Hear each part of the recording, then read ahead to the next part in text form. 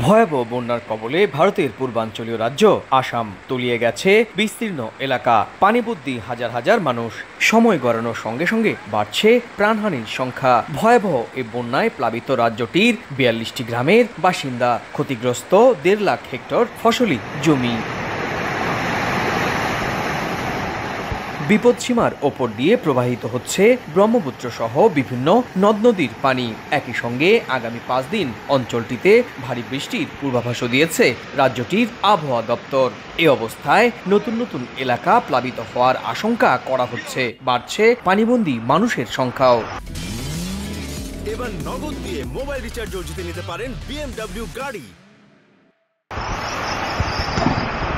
এদিকে বিশ্বনাথ, দারাং, ধেমাজি, ডিব্রুগড়, লাখিমপুর ও উতালগুড়ি, দক্ষিণ সালমারা সহ বেশ কয়েকটি জেলায় ব্যাপক ভাঙন দেখা দিয়েছে। তবে সবচেয়ে বেশি ক্ষতিগ্রস্ত হয়েছেন লাখিমপুর জেলার বাসিন্দারা।